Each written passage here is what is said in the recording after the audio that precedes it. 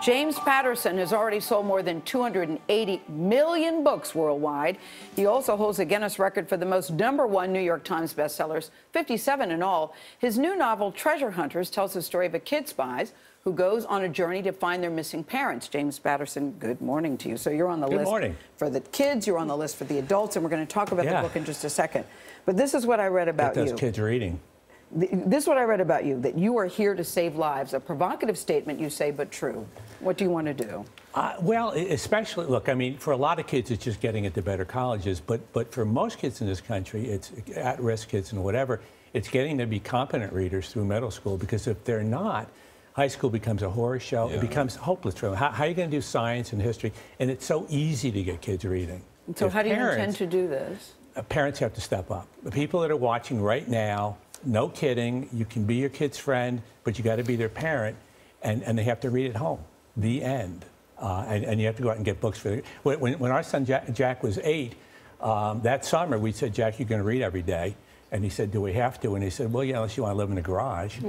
Look, uh, I know how hard that is. I have three kids, and spending 20 to 30 minutes a night with each of them, and they're just learning how to read. It's yeah. hard. Uh -huh. It takes a lot of patience because they're just, they're, you know, six and five years old, and they know every other word. But when they get seven, eight, nine, ten, yeah. you just have, that's the deal. Yeah. We have banners that we, we give out to people. We read in our house. Mm -hmm. We read in our house. Mm -hmm. But is it because there's so many distractions, and that's a new element in our society?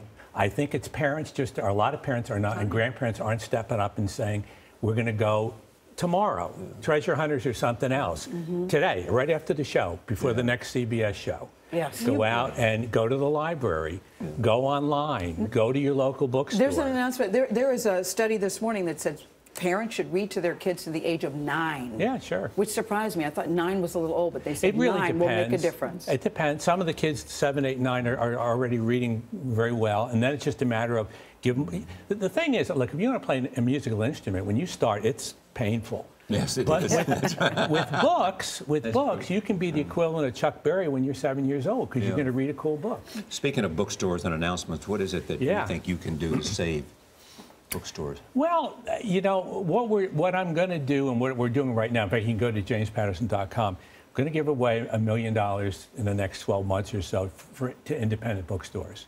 Of your own money? Why? Yeah, yeah, yeah my money. Why? Okay, we're making this big transition right now to ebooks, and that's fine and good and terrific and wonderful, but we're not doing it in an organized, sane, civilized way. So what's happening right now is a lot of bookstores are disappearing. A lot of libraries are disappearing or they're not being funded. School libraries aren't being funded as well.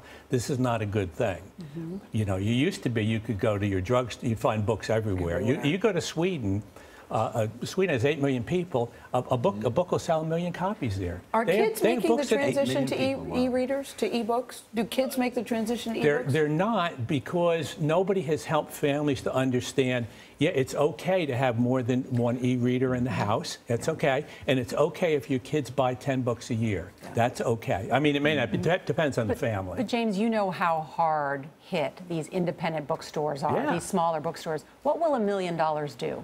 It's going to start. It's going to help. Mm -hmm. You know, and, and, and, it ranges from you know what we have two two people here who haven't had a bonus in seven years. Here's some money, or we want to do so. And the only thing we're going to ask is that one that we feel it's a viable bookstore. And secondly, that you have a children's section. Yeah. I want to say just one thing about reading. I mean, reading has been my best friend yeah. all my life. I have never been bored for a moment because I was so curious, and books gave me and took me to places I could never go. Sure. Yeah. And, and, and, and wine, you're, it's the same thing for me. Yeah. It just brought, I grew up in a small town. Me too hadn't seen that much, and it was like, ooh, boy, and now I've been to Paris, now I've been to, you know, you know Middle East, now yeah, I've been yeah. all over the world. We're reading at home these Dodsworth books, and that were a gift to us, and Dodsworth goes to Tokyo, and oh, Dodsworth yeah. goes to Rome, and yeah. and, and no, so they transport, important. and I love your new book that's coming out, Treasure, because kids are now into spies, so you, they'll definitely be into Well, Treasure, you know what it is, uh, more than anything, these are, their parents went all around the world uh, finding the famous treasures like uh, King Solomon's mines, et cetera, et cetera. So they're real. So you're going to learn a lot of stuff about the world. Um, but, but more than anything else, the kids now take up the business themselves. But and, and they have to take responsibility. They have yeah. to take responsibility. Can I just say your record's intact? You were named one of the 50 most influential people who make days a little brighter. There you go, oh, Mr. Sunshine, right, okay. doing it again. That's a nice tribute to you, and we go on that. Thank nice. you so much. Thank you Great very to much. see you. Nice Treasure Hunters goes on sale today.